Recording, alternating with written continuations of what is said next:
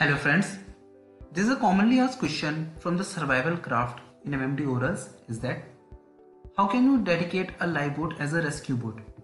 To answer this, first we have to know the rescue boat regulations which is given in the SOLAS chapter 3, regulation 21, also in LSA code chapter 5. There is a download link in the description for the LSA code, you can check it later. A lifeboat can be approved and used as a rescue boat if it meets all the requirement of a rescue boat. That is, if it successfully completes the testing of a rescue boat required in regulation 3 oblique 4.2 and also if its stowage and launching and recovery arrangement on the ship meets all the requirement for a rescue boat then only I can dedicate a lifeboat as a rescue boat. So now we will discuss the, all the points which, which are required for a lifeboat to be dedicated as rescue boat. A lifeboat should be capable of meeting either the rigid or the inflated construction. And also it can be a combination of both rigid or inflated.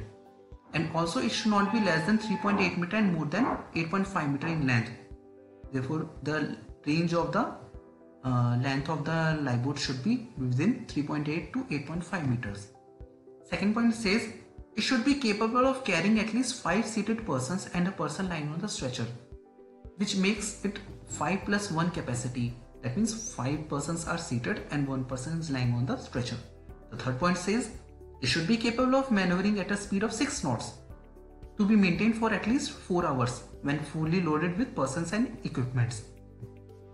4 point says there should be a shear profile which is required in the rescue boat.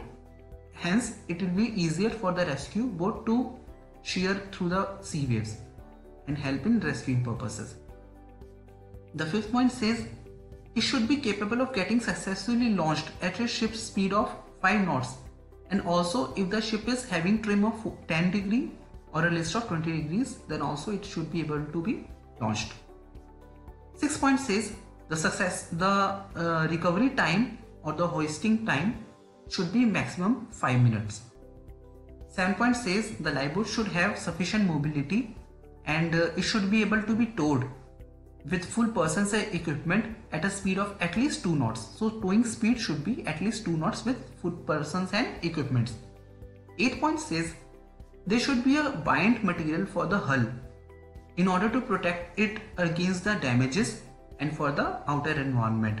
And the hull can be of rigid or inflated type or a combination of both.